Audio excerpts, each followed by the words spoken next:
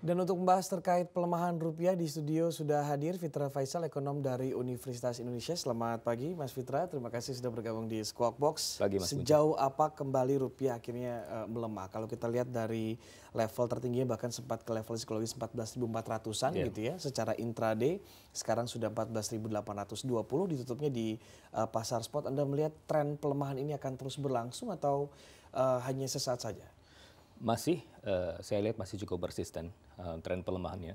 Uh, adapun kemarin tren penguatan rupiah itu memang sifatnya seperti hanya sementara. Hmm. Ya, uh, uh, euforia market dari DNDF dan juga kemudian uh, ditambah lagi dengan uh, efek pemilu setelah uh, di Amerika Serikat. Yeah. Ini kemudian membuat uh, segala sesuatunya berjalan sepertinya uh, on the right track untuk rupiah. Hmm. Tetapi banyak analis bahkan mayoritas melihat bahwa ini hanyalah efek temporer karena permasalahan sebenarnya dari rupiah itu belum betul-betul uh, diselesaikan ya. Seperti?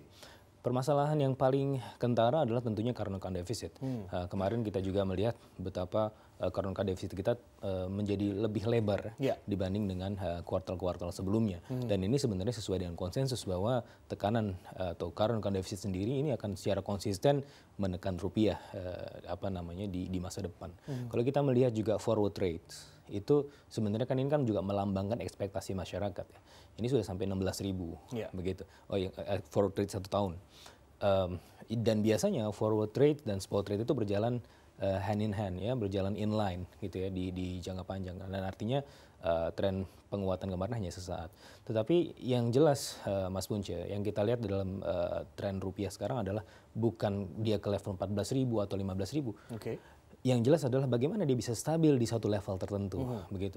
Kalau menguat terlalu cepat juga bermasalah Betul. begitu. Hmm. Begitu juga dengan uh, kalau terjadi depresiasi. Jadi yang kita harapkan adalah dia lebih stabil.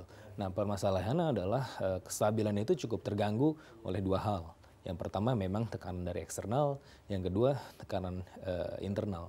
Uh, coba kita lihat masing-masing dari dari eksternal uh, kecenderungan dari US ini uh, US 10 year bond dan US to, uh, apa namanya uh, two year bond itu kecenderungannya lebih flat dan bahkan uh, di tahun 2019 kemungkinan ada inverted mm -hmm. karena kemungkinan uh, the Fed akan menaikkan uh, suku bunganya lagi ya, yeah. dalam rangka normalisasi. Mm -hmm. Dan dalam konteks ini pada akhirnya kita melihat uh, suku bunga 10 tahun dari US itu uh, menurun. Nah, artinya apa? Artinya adalah uh, ini adalah resiko di masa depan, ya, resiko uh, global economic recession, yang mana ini terjadi di tahun 1969 dan tahun 1970, dan di mana kalau kita lihat tren uh, apa namanya bond itu sudah uh, suku bunganya memang sudah inverted mm -hmm. di, uh, globally, mm -hmm. gitu. Nah, jadi memang tahun 2019, tahun 2020 onward gitu ya, itu agak sedikit gloomy. Oke, okay, gitu. kita lihat untuk uh, level nilai tukar rupiah pagi hari ini ternyata kembali melemah setelah kemarin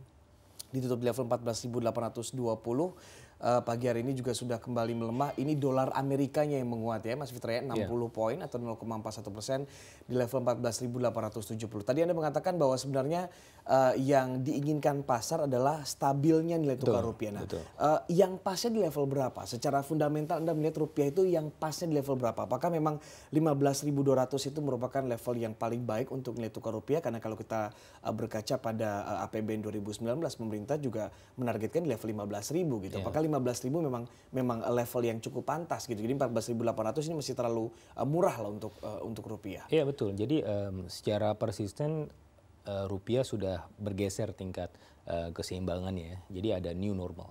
New normal ini ya yang jelas di level 15.000. 14.400 ini memang cenderung atau 14 ribuan ini cenderung uh, memang uh, over value mm -hmm. given the productivity. Kalau kita yeah. lihat produktivitasnya atau rupiah sendiri Uh, sebagaimana yang saya sampaikan tadi adalah tidak lepas dari faktor eksternal dan internal.